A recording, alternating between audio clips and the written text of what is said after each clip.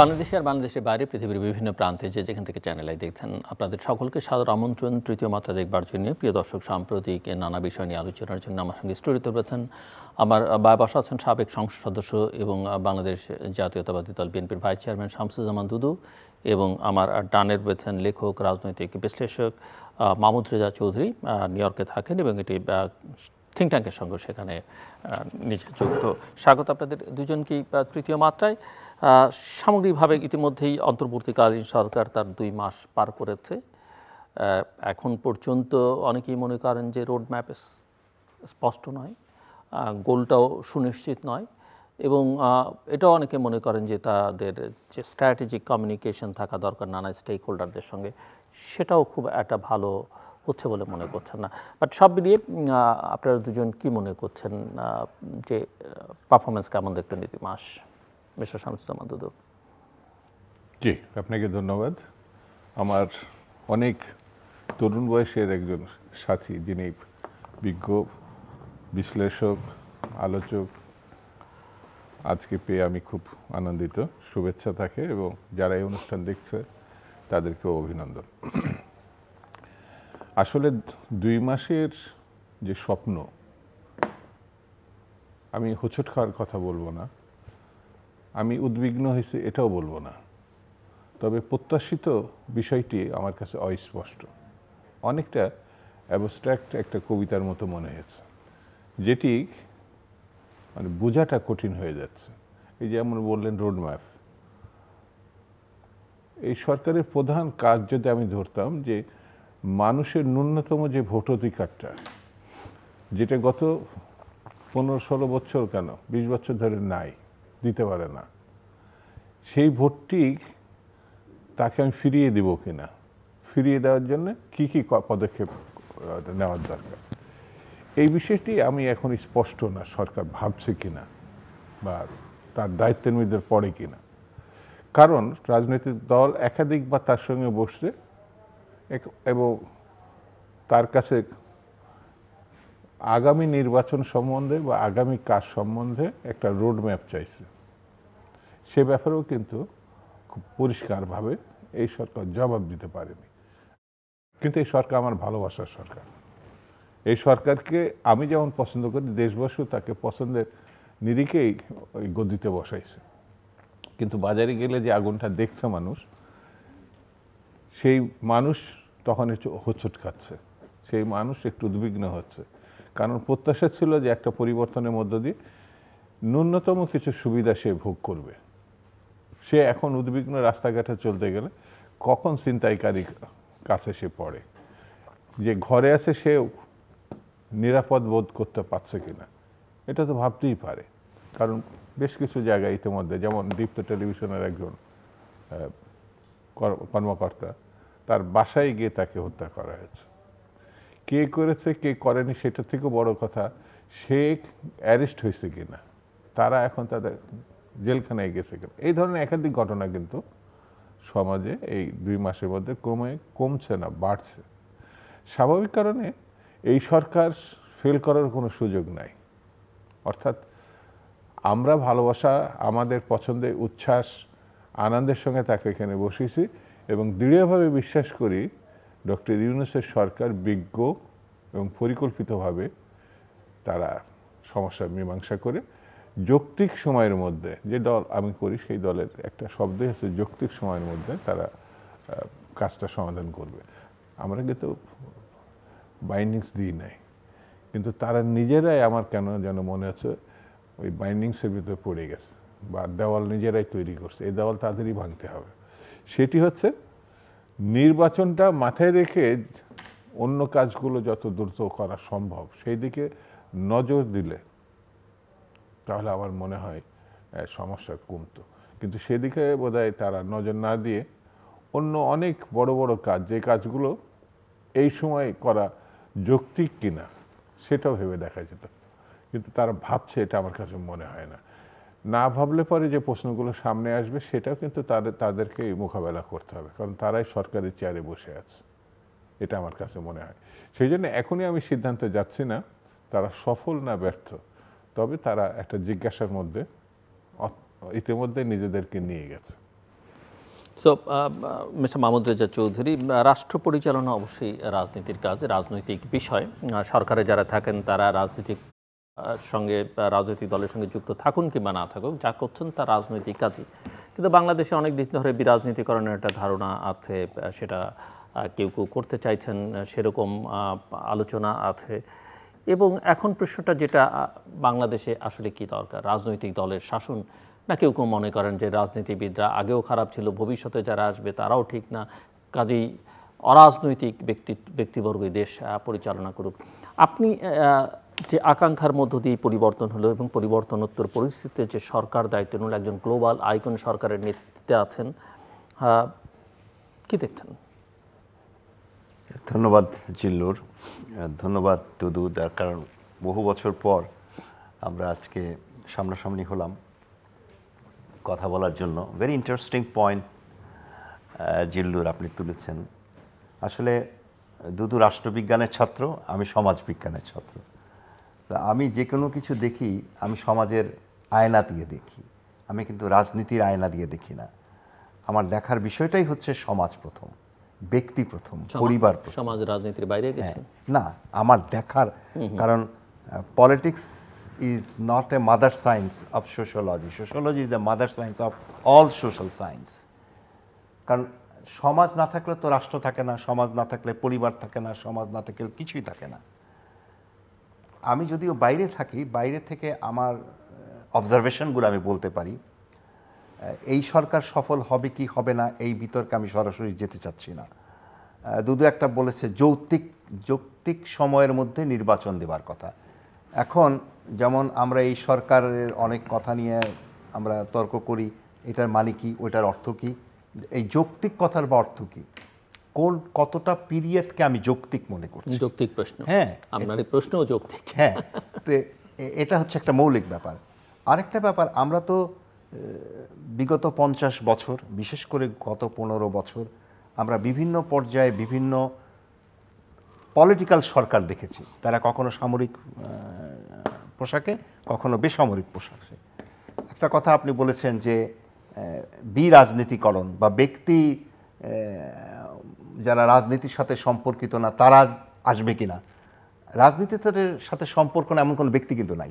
এখন ডিফেন্ড করছে কোন রাজনীতি? যে আমার একটা যেমন নিরপেক্ষ বলে আমি কোনো কিছু বিশ্বাস করি না প্রত্যেকের একটা পক্ষ আছে। সেটা আপনার নিজের পক্ষ হতে পারে। আমার রাজনীতি আর আপনার রাজনীতি আর হ্যাঁ, হ্যাঁ, রাজনীতির মধ্যে পার্থক্য হ্যাঁ অবশ্যই। কিন্তু। কিন্তু রাজনীতি তো। পার্থক্য হতে পারে পার্থক্যটাই স্বাভাবিক। এখন আমি মনে করি যে একটা রাষ্ট্র পরিবর্তন হয় যত দ্রুত একটা ব্যক্তি যত দ্রুত পরিবর্তন হয় একটা সমাজ কিন্তু তত দ্রুত পরিবর্তন হয় না। পৃথিবীর ইতিহাসেই নাই। কোন কোন জায়গায় শত বছর লেগে যাচ্ছে। আমাদের গত পঞ্চাশ বছরের ইতিহাসে আমরা একটা জিনিস লক্ষ্য করেছি যে আমরা আসা জাতিগতভাবে আমরা কোথায় যেন কোনো ধৈর্য আহ, বিনয় প্রতীক্ষা এসব ব্যাপারে খুব একটা আমরা সুসংগঠিত না। আমরা সব কিছুকে চাই ইমিডিয়েট যে লাইক ইনস্ট্যান্ট কফি যেটাই হোক। সেটা যে রাজনৈতিক দল আসুক, রাজনৈতিক পোশাকে কিংবা রাজনৈতিক দল আসুক, অন্য কোনো পোশাকে। আমাদের উদ্দেশ্য হচ্ছে যে give me the immediate immediate কিছু কিন্তু ঘটে না। তার জন্য কিছুগুলো নর্মস তৈরি করতে হয় সমাজে। যেমন ধরা যায় সমাজের নর্মসের মধ্যে মনে করি প্রথম পরিবার। পরিবারের প্রধানকে ব্যক্তি। এখন আমরা যখন বড় হয়েছি জিল্লুর আপনারও হয়তো কিছুটা মনে থাকতে পারে, আমরা কিন্তু অনেক কিছু শিখেছি আমাদের পরিবারে বাবা মার কাছ থেকে। নিয়ম অনুবর্তিতা বড়কে শ্রদ্ধা, ছোটকে স্নেহ ধৈর্য, এগুলো কিন্তু আমরা পরিবার, এটাকে স্কুল থেকে আমরা শিখি নাই। আমরা পরিবার থেকে, কিন্তু সেই পরিবার কি বাংলাদেশে এখন এক্সিস্ট করে? করে না তো। অধিকাম, ব্যতিক্রম আছে, কিন্তু ম্যাক্সিমাম ক্ষেত্রে আমরা দেখি যে ওই ধরনের পরিবার এক্সিস্ট করছে না। যার ফলে আমরা কিন্তু একজন নাগরিক হিসাবে যে দায়িত্ব পালন করব মাঠে গিয়ে, সমাজে গিয়ে, প্রতিবেশীতে গিয়ে, এটা আমরা করতে পারতেছি না। আমাদের এক ধরনের এক ধরনের মাস্তানি soft or hard or crude আমাদের মধ্যে প্রবেশ করে গেছে। গত পঞ্চাশ, একদিনও হয় নাই কিন্তু। এখন এমন একটা পর্যায়ে চলে গেছি আমরা যে আর আমাদের যাওয়ার জায়গা নাই। হয় সাগরে ডুবতে হবে অথবা কারও কাছে বিক্রি করে দিয়ে চলে যেতে হবে। বর্তমান সরকারটা আমার, আমি প্রথম থেকে লিখছি যে আমি নব্বই দিন দেখতে চাই কি ঘটনা ঘটে। তবে আপাতত মানে ইমিডিয়েট যদি আমি বলি, তাহলে আমার মনে হয়েছে বর্তমান সরকারের প্রথম ভুল আমার দৃষ্টিতে, ব্যক্তিগত দৃষ্টিতে, বর্তমান যে প্রেসিডেন্ট আছে মিস্টার চুপ্পু। চুপ তার তার আন্ডারে তার অধীনে শপথ নেওয়াটা ভুল বলে মনে করি। মারাত্মক ভুল। দ্বিতীয় ভুল আমি মনে করি যে তাদের কিন্তু যে বলে না বিয়ের রাতেই বাসর রাতেই তুমি বিলাই মারো এইটা কিন্তু তারা পারত প্রথম রাতে সেটা পারে নাই। সেখানে তারা একটু মানে মনে হয়েছে যে তারা nervous what is happening what to do সেটা তাদের হওয়া উচিত ছিল না। এখানে সেনাবাহিনীও আমাকে মনে হয়েছে কিছুটা দোদুল্যমান। তার অনেকগুলো কারণ আছে, সেই কারণগুলো আবার ভিন্ন প্রেক্ষাপটে আমরা আলোচনা করব।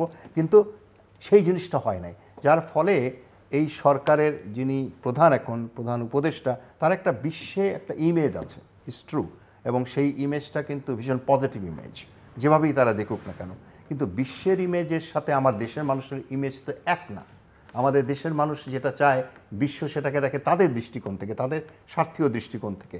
তা আমার মনে হয় যে আপাতত বর্তমান সরকারে যেটা দুদু আমাদের অনুষ্ঠানের আগেও বলেছে যে শিক্ষিত তারা এবং তাদের কাছ থেকে আশা করা যায় তারা দুর্নীতিবাজ না কিন্তু একই সাথে আজকে যেটা আলোচনা আমরা করলাম যে, গ্রামীণ ব্যাংকের সমস্ত কর, গত পাঁচ বছরের কর মৌকুফ করা হয়েছে বা দেবে না, এটাও কিন্তু এক ধরনের সাংঘাতিক রকম অপরাধজনিত কাজ। কারণ এখন এই মুহূর্তে যদি এই ধরনের দৃষ্টান্ত স্থাপিত হয় যে গ্রামীণ ব্যাংকের প্রধান হিসাবে ডক্টর ইনুসকে আমরা জানি, সে যদি তার নিজের প্রতিষ্ঠানের কর, করটা তো জাতির কাছে প্রাপ্য, তাই না? সেটা কিছু যদি মৌকুফ করে দেয় বা ওই ধরনের কিছু সে সিদ্ধান্ত নেয়, ব্যাখ্যা আমি জানি না। ব্যাখ্যা না পরে আমার কথা বলাও ঠিক না। যদি নেয়, ধরে নেই কথার খাতিরে, তাহলে সেটা একটা বড় অন্যায় হবে। এবং সেটা আবার হবে ওই পুরনো অন্যায়ের, পুরনো স্বৈরতন্ত্রের, পুরনো ফ্যাসিজমের রিপিটেশনের আবার নতুন করে বীজ বপন করলাম।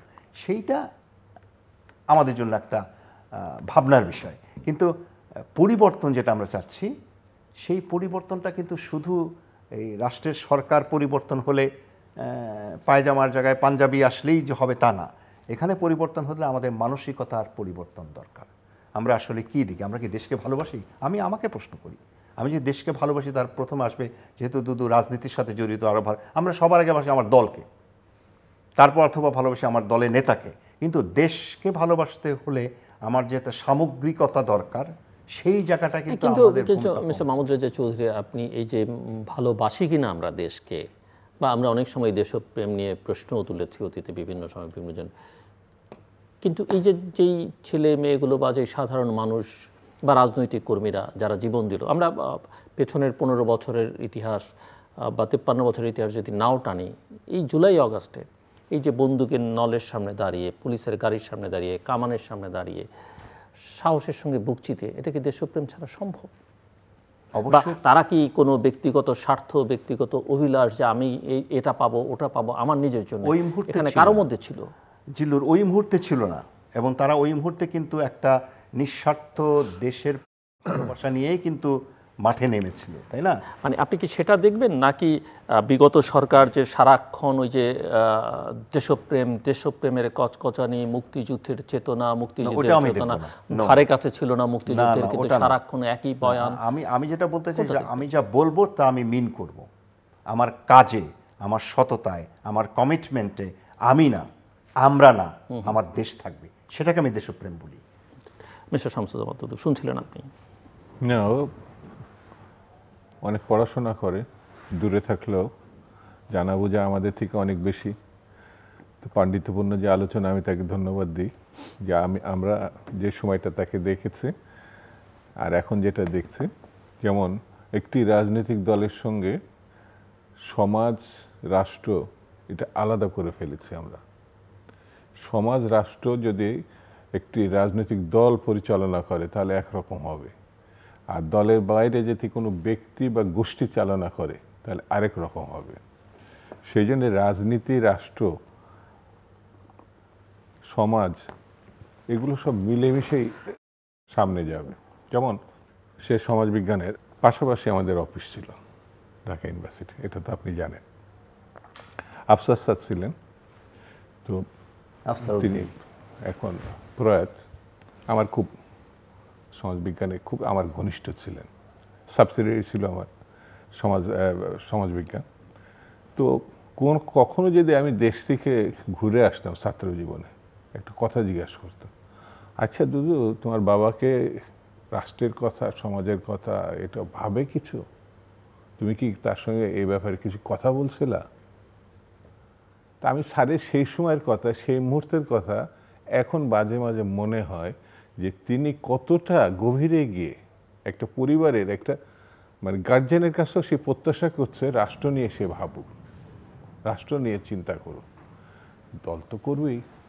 ব্যক্তি যদি আহ, রাজনীতি সচেতন হয় তাহলে পরে সে তো তার রাষ্ট্র নিয়ে তার সমাজ নিয়ে সরকার নিয়ে বহু মত বহু পথ এগুলো তো আমরা সবাই জানি। এখন সেই বহুমত বহু পথকে সমন্বিত রূপটাই তো গণতন্ত্র। এখন আমি সমাজকে অনেক স্বপ্ন দেখাইছি, কিন্তু ন্যূনতম যে জিনিসগুলো আমি দিতে পারলাম না। মানে এই তৃতীয় মাত্রায় যে জিল্লুর বসে আছে, এখন তাকেও দেখা গেছে সরকার বারবার অপমান করছে। মানে কিছু কিছু জন্য? কথা বলার জন্য। রাষ্ট্রের ভালো মন্দ বিষয়টি জানানোর জন্য সে এখানে বসে আছে। বাদ পড়েনি তো, সে তো রাজনীতি করে না, কোনো দলের না। অতীতে যা ঘটনা থাক না এখন আমি রাজনীতির দল করি বলেই কিন্তু আমি নিগৃহীত আর অন্য কেউ নিগৃহীত না, এমন তো না। এই যে এখন যে প্রশ্নটা আসলো যে এই ছেলেগুলো সাহসিকতার সঙ্গে বুক চিতিয়ে তারা মৃত্যু এমনকি আহত হয়েছে, সে আবার বলছে আমি যাব। বাসায় নিয়ে আনা হয়েছে, আবার সে যাবে।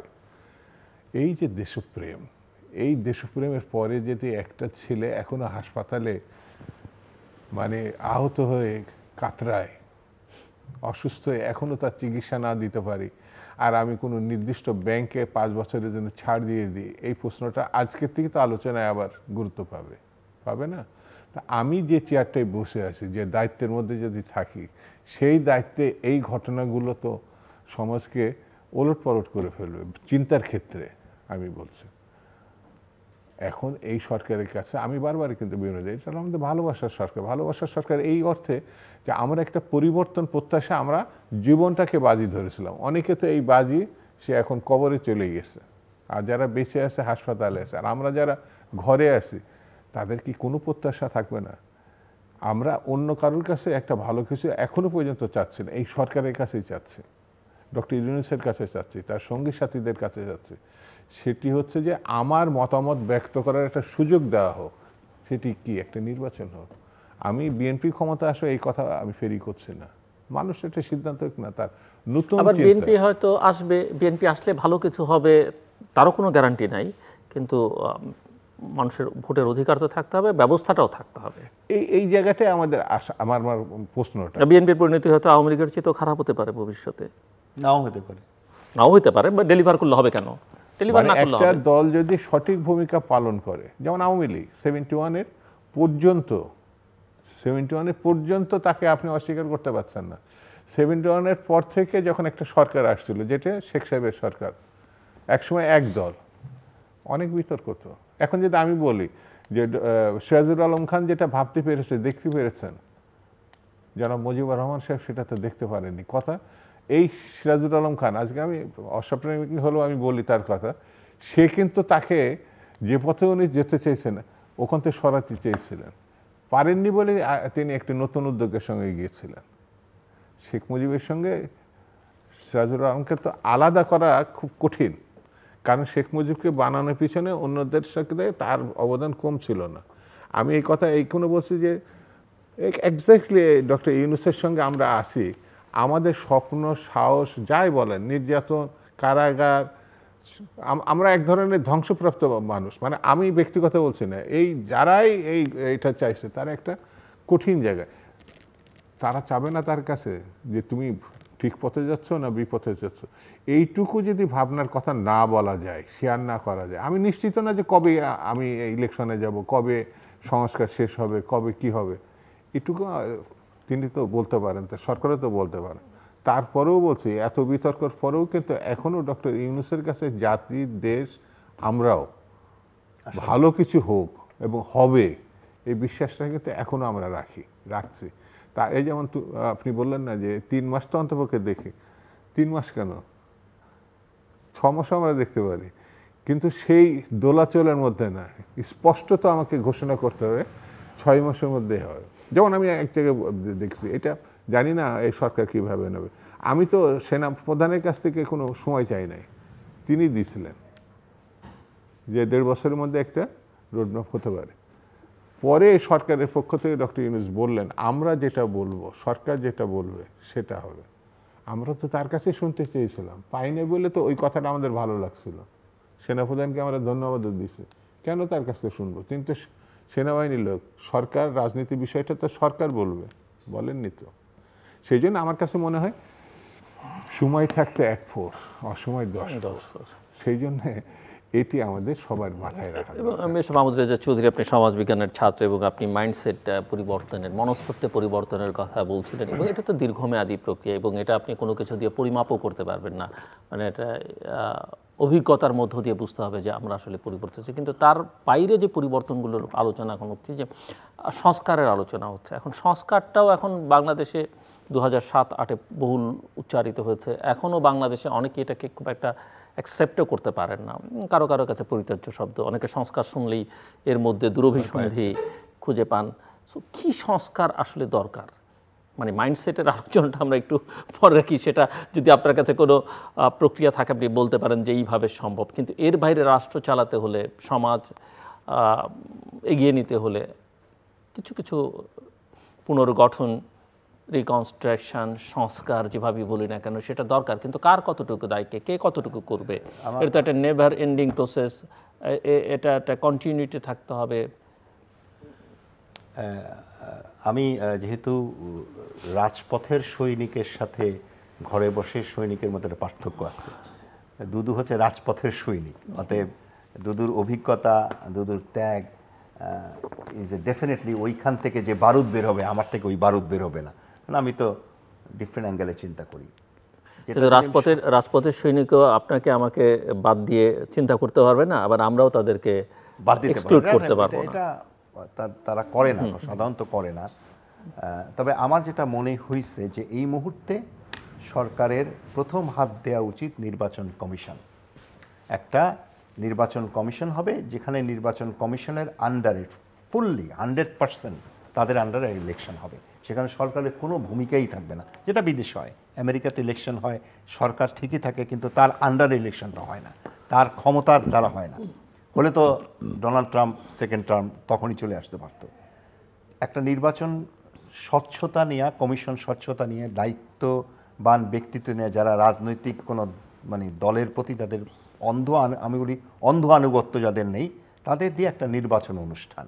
যার ফলে জনপ্রতিনিধিদের কথা যতটা পাবলিক অ্যাকসেপ্ট করে পাবলিক বা অন্যান্য ডিসিপ্লিন অর্গানাইজেশন অ্যাকসেপ্ট করে, অন্য কারও কথা এক্সপেক্ট করে না। যেমন আইন শৃঙ্খলার কথা বলছে। আইন শৃঙ্খলা পুলিশ এখন তার দায়িত্ব পালন করবে কেন? কারণ এর আগে তারা দেখছে যে প্রতিদিন তাদের আয় হচ্ছে দশ থেকে বিশ হাজার টাকা। ডেলি যে কোনো এখন তাদের সেই আয়ের জায়গাটা বন্ধ হয়ে গেছে। অতএব সে দায়িত্ব করবে কেন? দ্বিতীয়ত সে ভাবতেছে, এই তো দুদিন আছে, আজকে আছে, কালকে নাই। আমি কার প্রতি আমার আনুগত্য দেখাবো? সেখানে একটা সংশয় আছে। অতএব সে সেখানের থেকেও দূরে সরে আসছে। এরকম কিন্তু শুধু পুলিশ হচ্ছে তা না, প্রত্যেকটা এবং ইভেন যে সিভিল প্রশাসন, তারাও কিন্তু তাই হচ্ছে। তাই আমরা তো কী চাই যে আমরা এমন একটা সরকার চাই যেখানে আমাদের অ্যাকাউন্টেবিলিটি কোশ্চেন করা থাকবে, যেটা আগে আমরা সবসময় চাইছি, হয় নাই, কম বেশি, অনেক সময় হয়েছে অনেক সময় হয় নাই। জিয়াউর রহমান সাহেবের সময় হয়েছিল যেটা আমি মনে করি। ইট ইজ নট দ্যাট আমি বিএনপির পক্ষে কথা বলছি। জিয়াউর রহমান সাহেবের সামনে সময়, অনেক কিছু যেখানে কিছু অ্যাকাউন্টেবিলিটি ছিল, কারণ তিনি অনেক অনেস্ট ছিলেন। অতএব সরকারের যিনি প্রধান হবেন, তার সবার আগে ভেরি ক্লিন হার্টেড হতে হবে। কিন্তু সেটা এখন এই যে গ্রামীণ ব্যাংককে নিয়ে যেটা ঘটছে তারপরে এই তার মন্ত্রী পরিষদে বা তার উপদেষ্টা। পরিষদ সে যেভাবে গ্রামীণ লোকদেরকে গ্রামীণ ব্যাংকের লোকদেরকে এনে যুক্ত করছেন এই জিনিসটা ঠিক হয় না আরেকটা জিনিস ঠিক হয় না আমি যেটা মনে করি তাদের প্রতি পূর্ণ সমর্থন দিয়ে পূর্ণ শ্রদ্ধা সহকারে যারা আন্দোলনের নেতৃত্ব দিচ্ছেন যে সমস্ত ছাত্ররা তারা কিন্তু টিএসসিতে যেটা মনে হয় আমার এক সময় জিল্লুর আপনার সাথে কথা হয়েছে তারা একটা টিএসসিতে একটা সেন্টার করতে পারতেন যেখান থেকে তারা সব দেশের এর একটা- মতো করে হ্যাঁ, লোকজনের অভিযোগ, হ্যাঁ। উপদেষ্টা পরিষদে সেটা বেশ করতে পারতেন বলতে পারতেন। তারা সরাসরি একেবারে ক্ষমতার চেয়ারে বসাকে চেয়ারটা তো গরম এই চেয়ারে বসার ফলে তাদের হয় কি এত অল্প বয়স তারপর এত বড় একটা চেয়ার তারা তাদের সামনে মানুষ এখন বড় বড় সিনিয়র মানুষরা দাঁড়ায় থাকে সালাম দেয় এই জিনিসটা তাদের খুব আর্লি পাওয়া হয়ে গেছে। এটা পাওয়ার মতো তারা কিন্তু রেডি না। তো আমাদের এই পরিবর্তনের ফলে যে কতগুলো জিনিস হয়েছে, আমরা কিন্তু এই যে কি বলব, একটা মিক্সচারের মধ্যে পড়ে গেছি। আমরা ডানে যাব না, বায়ে যাব, আমরা বুঝতে পারতেছি না। তবে এখন আমাদের দরকার, আমি বলি একজন নাগরিকের, আমি যদি মনে করা যায় আমরা তিনজন আমি মনে করলাম যে আমি ভালো হব, আমি আমার দায়িত্বটা পালন করব। আপনি মনে করলেন আপনিও ভালো হবেন, আপনিও আপনার দায়িত্ব পালন করবেন। দুদু মনে করল সেও ভালো হবে, সে তার দায়িত্বটা পালন করে। তার মানে কি, এই, এইখানে তিনজন আমরা একটা কমন গোল নিলাম, ভালো হবার। কিন্তু আমাদের মধ্যে তো এই দুদুর মতো, দুদু যে কথা বলতেছে যে রাজনৈতিক দর্শন দিচ্ছে, আমি বলব বিএনপিতে কতজন আছে? লাইক দুদু। হাতে গোনা। আওয়ামী লীগে কতজন আছে? হাতে গোনা। তা আমাদের, আমরা দেখছি আমাদের রাজনৈতিক দলের ভেতরে সংস্কার নাই। তাদের ভেতরে গণতান্ত্রিক সংস্কৃতির প্রতি কোনো কোনো সম্মান নাই, কোনো চর্চা নাই। ওইখানে যতদিন পর্যন্ত এক দল, এক নেতা মনোভাব থাকবে, এক আদর্শ, এটাই আমার, এটাই আমাদের, ততদিন পর্যন্ত কোনো সংস্কার বা কোনো দ্রুত উন্নতি আমাদের সামনে আমি দেখি না ব্যক্তিগতভাবে। হতে পারে আগামী ছয় মাস পর আরেকটা ঘটনা ঘটে যেতে পারে, আরেকটা রক্তক্ষয় হয়ে যেতে পারে। হতে পারে আগামী এক বছর পর তা হতে পারে, কিন্তু যতক্ষণ না পর্যন্ত এই দেশে একটা, কেন সময় তো বদলায়। এটা বাহাত্তর না, এটা বিরাশি না, এটা নব্বই না, এটা দু হাজার চব্বিশ। এটা দু হাজার তেরো না। এই দু হাজার আমাদের কনসেপ্ট হচ্ছে, আমাদের তরুণরা একটা দেশের একটা দারুণ একটা শ্রেণি তারা কিন্তু জেগেছে, তাদের মধ্যে কোশ্চেন আসছে। এবং এই দেশের আশি ভাগ লোকরা, মোটামুটি সত্তর ভাগ লোকরা কিন্তু মুক্তিযুদ্ধ দেখেনি। তাদের বয়স এখন যা, তারা মুক্তিযুদ্ধ কেউ দেখে নাই। ওই চেতনা তাদের মধ্যে কাজ করতেছে না। তাদের মধ্যে ওই চেতনাই কাজ করতেছে যে আওয়ামী লীগ পনেরো বছর খাওয়াইছে যে ট্যাবলেট। সেইটাই তারা খাচ্ছে, সেটাই তারা কথা বলছে। কিন্তু আমাদের মুক্তিযুদ্ধ তা ছিল না। আমাদের মুক্তিযুদ্ধে যদি একজন লিখছে, সেদিন একটা ফেসবুকে দেখলাম যে দু হাজার উনিশশো একাত্তরের বিজয়, আর না দু হাজার চব্বিশ সালের বিজয়, কার হাসি কে হাসবে? হোয়াট ডাজ ইট মিন তার মানে আপনি ইঙ্গে, তা আমি বলি যে আমরা কিন্তু সোশ্যাল মিডিয়াতে পাবলিক মিডিয়াতে কিন্তু আমরা যে কথাগুলো বলতেছি, এটা অধিকাংশ কিন্তু ওদের পক্ষে যাচ্ছে, যারা পরাজিত শত্রু। তারা চাচ্ছে এটাকে পুঁজি করে যদি কিছু করা যায়। এই ক্ষেত্রে আমার মনে হয় আমরা যদি আরেকটু সহনশীল হতে পারি অ্যাটলিস্ট অনলি দু মাস তো কেছে আর এক মাস তাহলে দেন আমরা একটা আলটিমেটাম দিয়ে দিলাম এই সরকারকে। নাইনটি ডেজের পর আমরা বললাম যে আইদার দিস অর দ্যাট মানে ওই যে নট হান্ড্রেড ডেজ হ্যাঁ? Why ninety days why not hundred days yes এটা আমি একটা নাইনটি ডেজের কথা বললাম মানে একটা বাদকে বাদ কিন্তু আমি মনে করি যে আরেকটু কারণ দুই মাসে কিছু হয় না। এত অসংখ্য সমস্যা আমাদের। এমন কোনো প্রশাসন নাই যেখানে বিগত সরকারের অন্ধ অনুসরণকারীরা নাই। এমন কোনো ক্ষেত্র নাই যেমন জিনিসপত্রের দাম। ওদিন দেখলাম একজন দেখাচ্ছে যে, এই আপেলের দাম পঞ্চাশ টাকা, এই গাজরের দাম তিরিশ টাকা, অমুক আলুর দাম চল্লিশ টাকা। ভাই, একটু দামটা কমান, আর সহ্য হয় না। কথা হচ্ছে যে, পনেরো বছর বলছিলাম আমরা। গত পনেরো বছর তো আমি বলি নাই। যে আপেলের দাম এত এত পেঁয়াজের দাম এত সেটা নিয়ে আমি কথা বলি নাই। তখন আমাদের মনে হচ্ছে যে এইটা না ওইটা ওই কারণে দাম বাড়ছে আমদানি হচ্ছে না রপ্তানি হচ্ছে না। বলা হয়েছে বলা হয়নি তা না বলা হয়েছে। কিন্তু এখন আর একটু এখন বলে আমি আমি মনে করি যে আমরা একটু মনে হয় একটু খুব ইনস্ট্যান্ট কফি খেতে বেশি পছন্দ করি। সবাই আমিও করি। তো ইনস্ট্যান্ট কফি তো সমাজকে নিয়ে হয় না রাজনীতি নিয়ে হয় না। রাজনীতির ভেতরে সেই আদর্শ আমি জানি না দুদু বলতে পারবে আমাদের ভিতরে কি ওনার আদর্শিক রাজনীতি আছে? আমাদের লক্ষ্যটাকে আমরা কি ফিক্স সরকারের তো তা প্রমাণ আছে। হ্যাঁ? এই সরকারই তো এখন যে আছে দেশে আদর্শ রাজনীতিবিদ আছে বলে তো এই সরকার আছে। আদর্শ না থাকলে তো কোনো গণবিপ্লব হতো না। না গণবিপ্লব হইছে কিন্তু গণবিপ্লবের পরের কাজটা ঝড় হয়ে গেছে। এরা করবে এখন। হ্যাঁ যেটা যা- কিন্তু এটা করতে থেকে সময় দিতে হবে। তার বাড়ি ঘর সব ভেঙে ফেলছেন পুড়ায় ফেলছেন এখন বলেন যে দুই মাসের মধ্যে সব চাই। তা তো হয় না। আমাদের একটু আহ, সহনশীল বা এবং আমাদের রাজনৈতিক দলদের ভাষা তাই না? একটু ডিফারেন্ট এক এক সময় এক এক রকম বক্তৃতা দিলে তো হবে না। একটা মানে আমাদের একটা সুনির্দিষ্ট লক্ষ্য থাকতে হবে যে আমরা এটা চাচ্ছি। জি। প্রথম কথা বলি যে এই আন্দোলনটা, জনাব, আপনি এক মাসেরটা যদি দেখেন, একরকম রেজাল্ট হবে। এটা যদি ষোলো বছরের আন্দোলন দেখেন, তাহলে আরেকটা রেজাল্ট দেবে।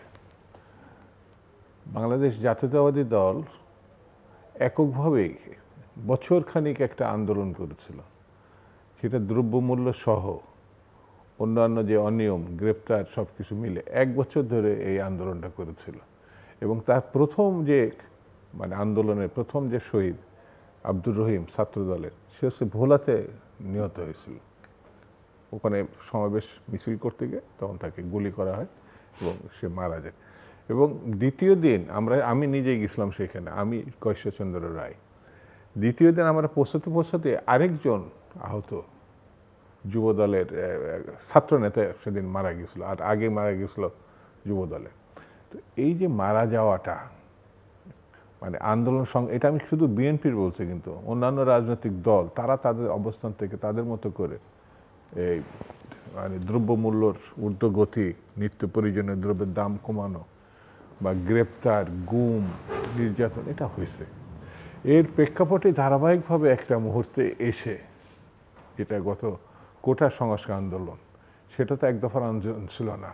আরও এক মানে পাঁচ তিন বছর আগে থেকে এক দফার আন্দোলন করছিল যেটা গত বছর এটা অক্টোবর মাস তো গত বছরের অক্টোবরের আঠাশ তারিখে আমাদের বিরোধ সমাবেশ ছিল। তার আগে সারা দেশে ছিল। এই এক দফার দাবিতে তোমার অধীনে ইলেকশন না পদত্যাগ করো। একটাই দাবিতে ছিল। সেটি মানে এক বছর পরে এই যে যেটা আমরা দেখলাম এক মাসে যে আন্দোলনটা, ছাত্ররা কোটার থেকে এটা রূপান্তরিত হয়েছে এক দফায়।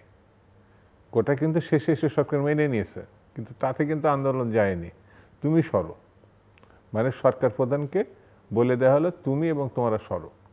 তো প্রশ্নটা আমার কাছে মনে হয়েছে যে এই যে এখন এই আলোচনার ভিতর থেকে বলি, ছয় সালে একটা নির্বাচন হওয়ার কথা ছিল সংবিধানের আওতায় ক্যাটটেকের অধীনে। সেটা কিন্তু সংবিধানের অধীনে, যেটা শেষে এসে ইয়াজুদ্দিন সাহেবের ব্যাপার ছিল। সেটা কিন্তু তৎকালীন আওয়ামী লীগ এবং অন্যান্য রাজনৈতিক দল মানতে চায়নি।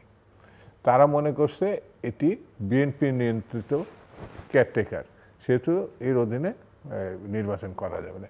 একটা বিশেষ পরিস্থিতিতে ওয়ান ইলেভেন এসছে।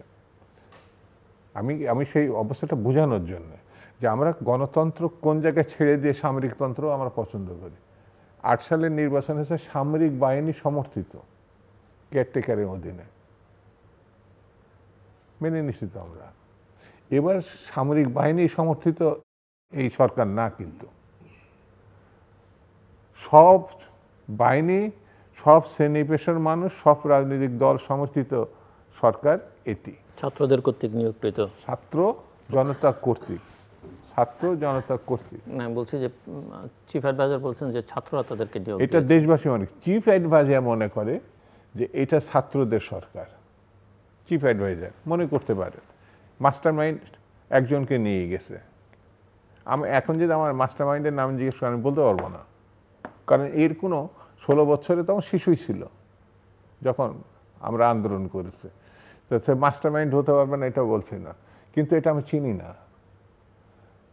জাতিসংঘে গিয়ে সরকার, যাদেরকে আমরা পছন্দের প্রেমের সরকার, ভালোবাসার সরকার বলতে, সে গিয়ে ষোলো বছরে যে নেত্রীটা মানে ছ বছর ধরে বিনা চিকিৎসায় মৃত্যুর দিকে তার কথা বলে নাই। যে দলটা বা সেই দলগুলোর কথা বলে নাই। একটা মাস্টার মাইন্ডকে পরিচিত করছে। করতে পারে। কারণ তাদের ঘাড়ের উপরে পা রেখে সরকার হয়েছে, হতে পারে। আমার কাছে মনে হয়েছে যে এর থেকে আমি বেরোবো কী করে? এই কথা কিন্তু এই সরকার বলছে না। বলতে হবে যে দলীয় সরকারের অধীনে ভালো নির্বাচন হয়নি। কেউ কখনো পরাজিত হয়নি। কেয়ারটেকার ব্যবস্থা তুলনামূলকভাবে এই দেশবাসী গ্রহণ করেছিল। এই সরকার বলছে না কেয়ারটেকার আমরা পূর্ণ প্রবর্তন করব। বিএনপি বলেছে তাদের একত্রিশ দফায় স্পষ্ট করে। এদের কিন্তু কি করবে মানে সংস্কার, আমরা একত্রিশ দফায় বলেছি কি করব এটা আরও তিন বছর আগে বলেছে। এই সরকার এখনও বলতে পারে নাই। সংস্কারের কথাটা বলছে সংস্কার দরকার। কি সংস্কার? রোডম্যাপও নাই কিছু নাই। দুই নম্বর হচ্ছে জবাবদিহিমূলক প্রতিষ্ঠা যেটা আপনি উচ্চ- উচ্চারণ করলেন যে জবাবদিহিতা থাকতে হবে বিভিন্ন জায়গায়। গণতান্ত্রিক নির্বাচিত রাজনৈতিক দলের কথা বলেছেন। গণতান্ত্রিক দলের নির্বাচিত সরকার আসলে না সেই জবাবদিহিমূলক সরকার হয়। কিন্তু সে কি ছিল কখনো অতীতে? অবশ্যই ছিল। কোন সময় ছিল? অবশ্যই ছিল। যখনই নির্বাচিত সরকার পার্লামেন্টে ছিল, দেশে ছিল, তার সীমাবদ্ধতার কথা নিয়ে আলো- আলোচনা করতে পারে। ছিল না, এটা বললে পারে কে আমার আমাদের যে জগৎ বিখ্যাত নাইনটি ওয়ানের ইলেকশন আমাদের নাইনটি সিক্সের ইলেকশন দু হাজার এক সালে ইলেকশন আমি এতটা রাজনৈতিক দন্যতায় ভুগবো ভুগবো কেন যে অন্য কেউ ভালো কাজ করলেও আমি সেটা সমর্থন করতে পারব না? আমরা কেন মুক্তিযুদ্ধকে আমরা অস্বীকার করব? সেই প্রবণতাও তো এখন দেখা যাচ্ছে। সেভেন্টি ওয়ানকে সরি টু ইন্টারাপ্ট মুক্তিযুদ্ধকে অস্বীকার করছে কারা? এটা ভালো করে পত্রপত্রিকা বললে হবে। আমি সরাসরি বলতে চাচ্ছি না কেন যেটা বলব তাদের গায়ে লাগবে সে আবার আমার প্রিয় পত্র। এই মুহূর্তে আমি বলতে চাচ্ছি না। কিছু বিষয় থেকে ওই যে স্বামী স্ত্রী আছে না চোখে চোখে কথা বলে তা তো আমরা এখানে চোখে চোখে না কিছু শব্দ তো ব্যবহার করছে। সেই জন্য আমি মনে করি জবাবদের সরকার ছিল। যখন শেখ মুজিবের সরকারটাও জবাব দিতে স্টার্ট করছে। মাঝপথে এটা ভেঙে চুরে গেছে। ভাবনা, একদলীয় চিন্তা ভাবনায় গেছে। যেমন রাজনৈতিক মামলা প্রত্যাহারের কথা এই সরকার বলতে পারতো। নিজের মামলা প্রত্যাহার না করে, নিজের সঙ্গী সাথীদের মামলা প্রত্যাহার না করে, কয়েক হাজার মামলা প্রত্যাহার করে। আসামি তো ষাট লক্ষ। ওইদিকে সরকারের নজর নাই। আড়াই লক্ষ মামলা আছে। সরকারের কাজটা কি? এইগুলোই তো। এই যে দুর্নীতির শ্বেতপত্র, দুই দুই মাসও প্রকাশ করতে পারিনি, কিন্তু আমার সুবিধা আমি নিয়ে নিয়েছি। আমার মামলা শেষ। আমার প্রতিষ্ঠান আমার কাছে ফেরত আসছে। আমি কর দেব না। দুর্নীতির বিষয়টি কই? আমি কেন বলছি? অনেক কথা এখন বলছি না, এই জন্যে যে এই সময়কে আমি আরও সময় দিতে চাই, সরকারকে আরও সময় দিতে চাই আরও ভালো কিছুর জন্য। কিন্তু মানুষের ধৈর্যের দিকে পরীক্ষা নেওয়া ঠিক হবে না। যেমন আমাকে অনেকে টেলিফোন করে বলে, এখন আমরা যে বয়সে এসে বলেন তো ভাই কে বলছে? আমার কাছে খুব বিরক্তিকর। যদি বলে যে আমি মিস্টার বাইডেন বলছি, তাহলে তার প্রশ্ন নেই, চাপ হবে না। বললে শেষ। এই সরকারকে এই চাপে জনগণে ফেলা ঠিক হবে না যে কি চায় আর কি চায় না। তাদের মেধা নিয়ে যোগ্যতা নিয়ে বিবেচনা নিয়ে অতীত নিয়ে সংগ্রাম নিয়ে কোনোভাবে এই পরীক্ষা ফেলা ঠিক হবে না। তারা যে কাজের জন্য আসছে সেটা স্পষ্ট করা ঘোষণা দেওয়া। তাহলে আমরা নিশ্চিন্তে ঘুমাতে পারি। যখন ঘোষণা থাকবে না তখন ঘুমটা তো নষ্ট হবে। চৌধুরী। আসলে সার্বিক পরিস্থিতিটা দেখে আমার অনেক দিন আগের একটা গল্প মনে পড়ছে। এই গল্পটা doctor Mizanur Rahman Shelley sir বলছিলেন। তখন আজাদ পত্রিকা বের হতো। তো মানে আমার দুদুর কথা এবং আজকের আলোচনা থেকে আমার এই কথাটা মনে হচ্ছে। নাসিরুদ্দিন সাহেব আজাদ পত্রিকা তখন এডিটর। তো দেশে তখন একটা সংকট চলছিল কোনো একটা ব্যাপারে ওটা জানি না ওটা বলে। তো উনি এসে মৌলানা আবুল মৌলানা আজা ওর নাম হলো আরে কে আজাদের পত্রিকার ইয়ে আকরাম খান আকরাম খান সাহেবকে জিজ্ঞেস করল যে হুজুর হুজুর বলতো যে, আমরা আজকের সম্পাদকীয় টাইটেলটা কি দেব?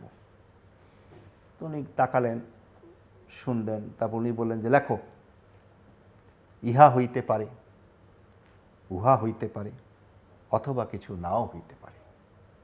তো এখন আমাদের এখনকার যে সংকটটা, আমরা বুঝতে চাই, বুঝতে পারছি না যে আসলে কী হবে আগামীতে। খুব একটা মানে আমরা পরিষ্কার না যে এই সরকার কি বলতে চাচ্ছে, তাদের কাছে তার গোল কি, সেট কি, খালি এখানে তো রবীন্দ্রসঙ্গীত গিয়ে তো আপনি দেশ পরিবর্তন করতে পারবেন না। এখানে নজরুল গীতি দরকার আছে। তো এখানে এখানে বিদ্রোহ দরকার আছে। তা আমরা সেখান থেকে কতটা বিদ্রোহী হব, কীভাবে হব, রাজনৈতিক দলের কথা বলা হচ্ছে। গত পঞ্চাশ বছরে দুদু আমাকে বলেন, রাজনৈতিক দল এই দেশের জনগণের কোনো মৌলিক সমস্যার সমাধানে একত্রিত হয়ে কোনো ভূমিকা রাখছে পলিটিক্যাল পার্টিসরা সিভিল পলিটিক্সের কথা বলি আমি। রাখছে, দৃষ্টান্ত সেই। তারা কি দালাদলের দলাদলি, মারামারি, কোন্দল, বিভক্তি, নেতা পূজা করে নাই? করছে তো। তাই পলিটিক্সের প্রতি কিন্তু মানুষের একটা অনীহা আছে। সাধারণ মানুষের যখন কথা বলি, জনগণ, জনগণের কিন্তু একটা অনীহা আছে। এখন কথা হচ্ছে যে এটা আমি কি করে বলব? না জনগণ আমার তো গণভোট নাই। তাহলে একটা গণভোট হতে পারে দেশে যে আমরা কি এই সরকারকে চাচ্ছি কত বছরের জন্য? এখানে একটা একটা প্রশ্ন মানে আপনি যেহেতু আবার ওই সমাজবিজ্ঞানের ছাত্র হিসেবে প্রশ্ন আপনি বলছেন যে একটা অনীহা আছে। হ্যাঁ হয়তো বলে যে এই পলিটিক্স ভালো লাগে না। কিন্তু বাংলাদেশের মতো মানুষ পলিটিক্স নিয়ে এত আলোচনা এত কনসার্ন পৃথিবীতে কয়টা দেশ? বা ইভেন আপনি যে দেশে আছেন পৃথিবীর একটা সবচেয়ে উন্নত দেশটিতে সেখানেও কতজন করে? সো অনীহা থাকলে এই আলোচনাটা করে কেন? আপনি গ্রামে যান চায়ের স্টলে যান আলোচনা।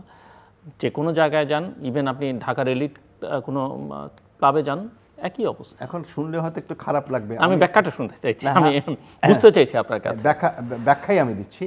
আমি মনে করি আমাদের দেশের রাজনীতি মানুষরা বেশি করে বা বেশি ইন্টারেস্টেড একটা হচ্ছে আড্ডা জাতীয় চিন্তা। এই আড্ডাতে আরও অনেক বিষয় হ্যাঁ, আছে অনেক অনেক দেশে তো অনেক দেশে তো সময়ের একটা অন্যরকম মূল্য আছে। যে আমি যদি আমেরিকা বলি বা ইউরোপ বলি বা ইংল্যান্ড বলি সেখানে আমি আট ঘণ্টা পরিশ্রম করি আট ঘণ্টা পরিশ্রম করলে মানে আশি ডলার পেলাম।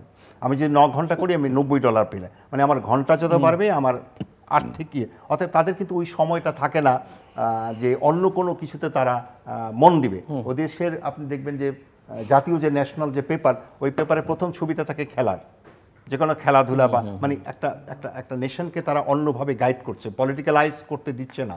যার ফলে হয় কি ওখানে ওই আলোচনাটা হয়। কিন্তু আমরা বাঙালি আমি বলব বাঙালি জাতি আমরা অনেক ক্ষেত্রে অতি বুদ্ধিমান আমরা সবই বুঝি এমন কিছু নাই যে আমরা বুঝি না সব ভাষায় আমরা কথা বলতে চাই। এবং আমরা এমন কোনো আমাদের হচ্ছে কি আমরা ওই যা কিছু আমার সহজভাবে আসে ওটাকে গ্রহণ করি যা কিছুতে আমরা দেখি যে না এটা সহজভাবে আসছে না ওটার প্রতিবাদ করি।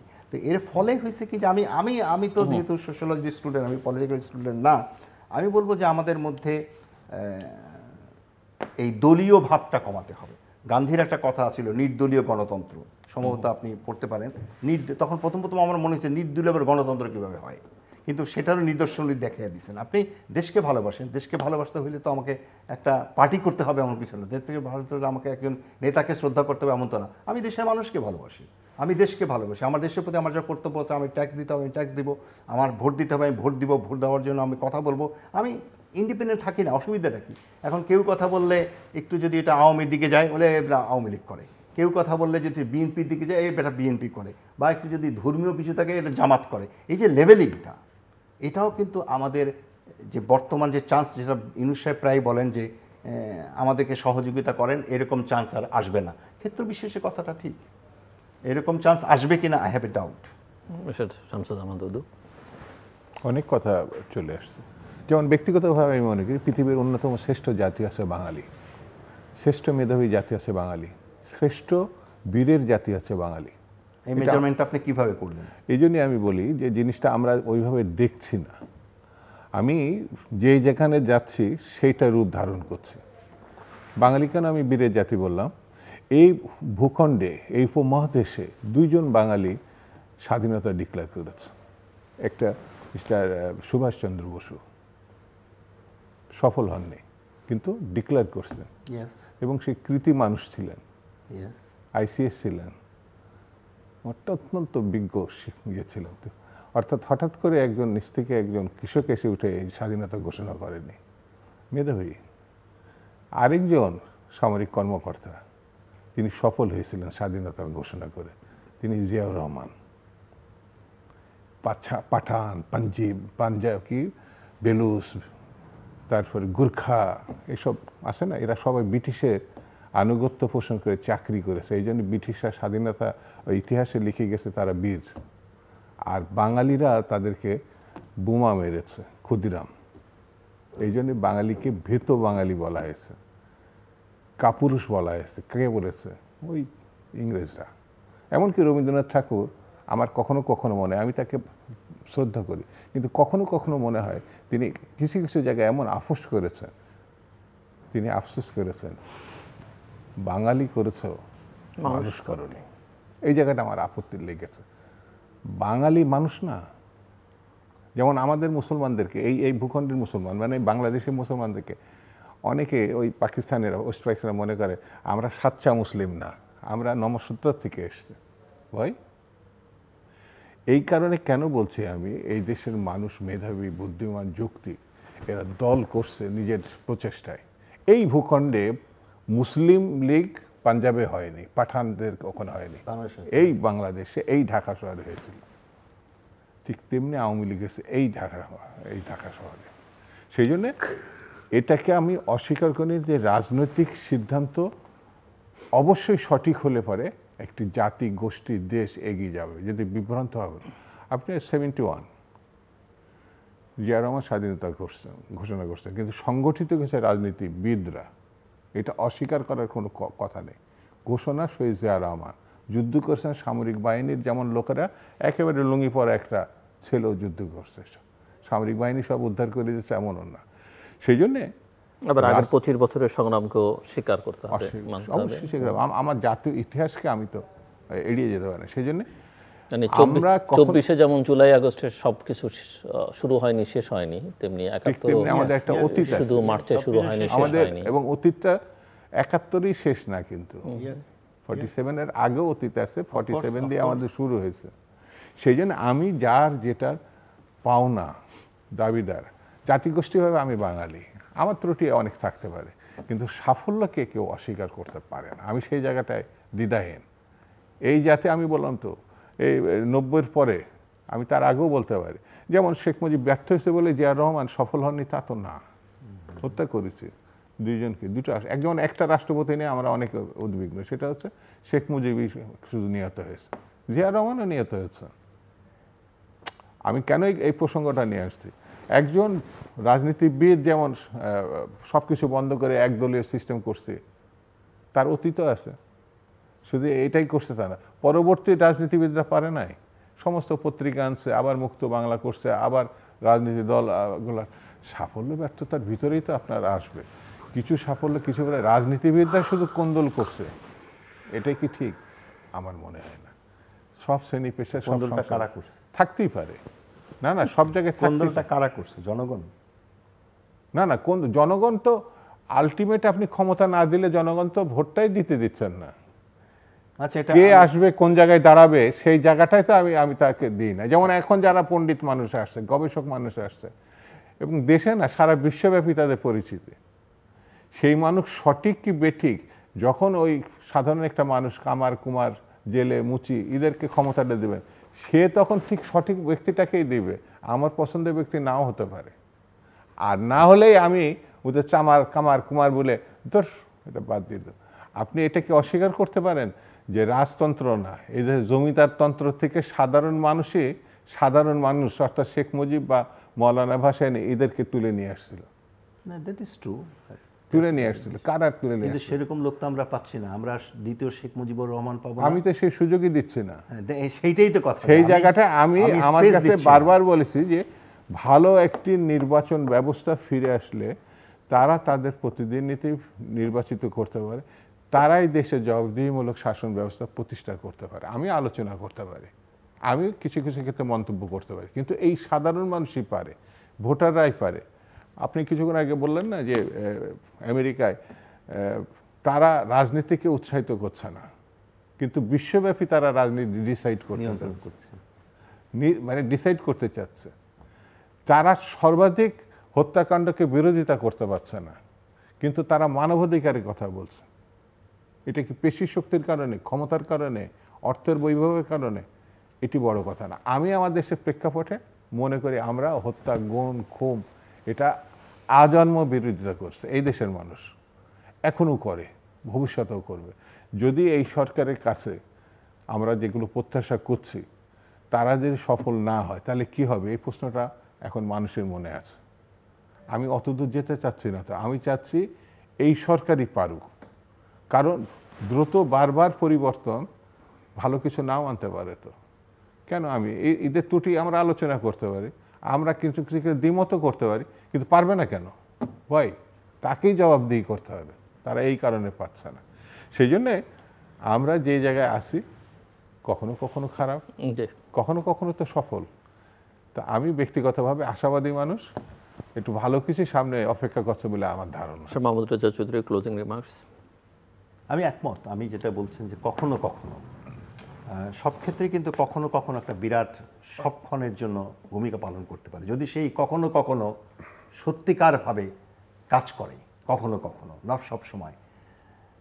আমাদের বর্তমান যে সমাজ এবং রাষ্ট্র যে চিত্র, সেখানে আমি ব্যক্তিগতভাবে মনে করি আমাদের অসহিষ্ণুতা, অশ্রদ্ধাবোধ, অবিশ্বাস, অনাস্থা, এগুলা ধীরে ধীরে বেড়েছে। এটা এটা যে মাত্র দুই মাসে হয়েছে তা না, দীর্ঘদিনের তা আমি তাই বলছি যে একটা আমাদের এই সংস্কার বলতে আমি বলি করি ব্যক্তি, পরিবার, সমাজের সংস্কার।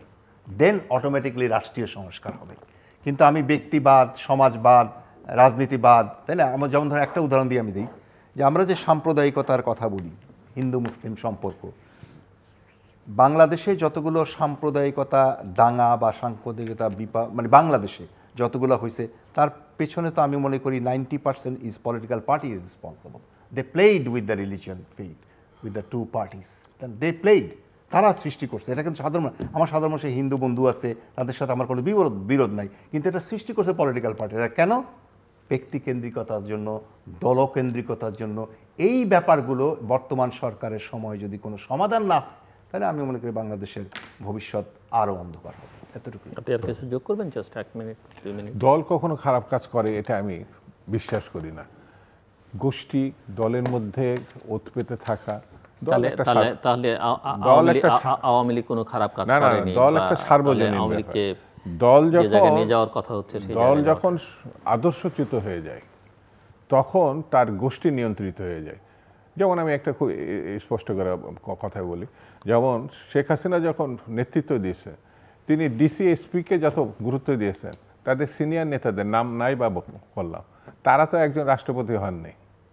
গোষ্ঠী যখন দলকে গ্রাস করে মানে উপদল যখন গ্রাস করে তখন দল আর দলের পর্যায়ে থাকে না। আমি এখান থেকে দল ছাড়া আপনি গণতন্ত্র প্রতিষ্ঠা করতে পারবেন। গোষ্ঠী কখনো গণতন্ত্র প্রতিষ্ঠা করে না। দলই আপনার সমাজকে নিয়ন্ত্রণ করবে দলই রাষ্ট্রকে নিয়ে এখানে আমাদের কিন্তু দল এবং গোষ্ঠী এটা ভাগ করতে হবে। নো নো আমি দলকে প্রাধান্য আমি দলকে যখন আমি আঘাত করব সামগ্রিক আমি বিশৃঙ্খলার দিককে জাতিকে ঠেলে দিব। আমি একটা গোষ্ঠী, যেমন একটা মানে ব্যক্তি বা প্রতিষ্ঠান এক ধরনের ক্ষতি করতে পারে। কিন্তু সমগ্রভাবে দল যখন ফ্যাসিজমের চর্চার মধ্যে চলে যাবে, তখন তো সেটা তার দল থাকে না। তো সেই, সেটা হিটলারের নাৎসি হতে পারে, সেটা আওয়ামী লীগ হতে পারে, আমি সেটাকে দলের ভিতর নিতে দল তখনই গ্রাস করে ফেলবে যখন উপদল মানে আদর্শচ্যুত হবে, দলকে বিপদগামী করবে। সেটা আমাদের দেশে হয়েছে।